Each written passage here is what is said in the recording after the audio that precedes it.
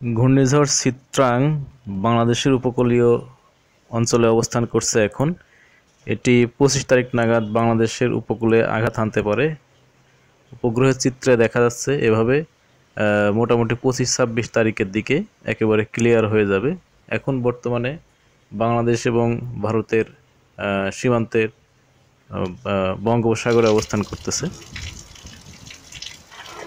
এই ঘূর্ণিঝড় চিত্রাঙের প্রভাবে আজ সকাল থেকেই বাংলাদেশের খুলনা এবং বরিশাল এবং অন্যান্য উপকূলীয় অঞ্চলের কাছাকাছি এবং উপকূলীয় জেলা এবং উপকূলীয় জেলার পাশে পার্শ্ববর্তী জেলাতে বৃষ্টি শুরু হয়েছে।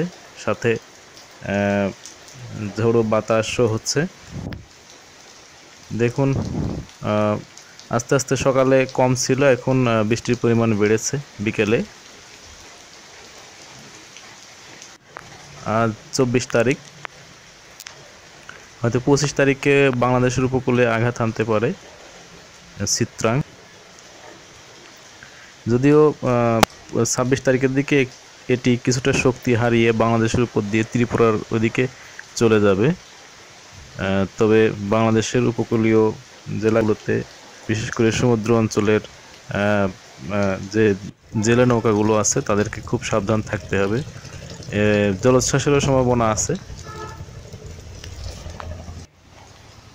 আগের থেকেই সাবধান হলে অনেক ক্ষয়ক্ষতির পরিমাণ কমানো যাবে।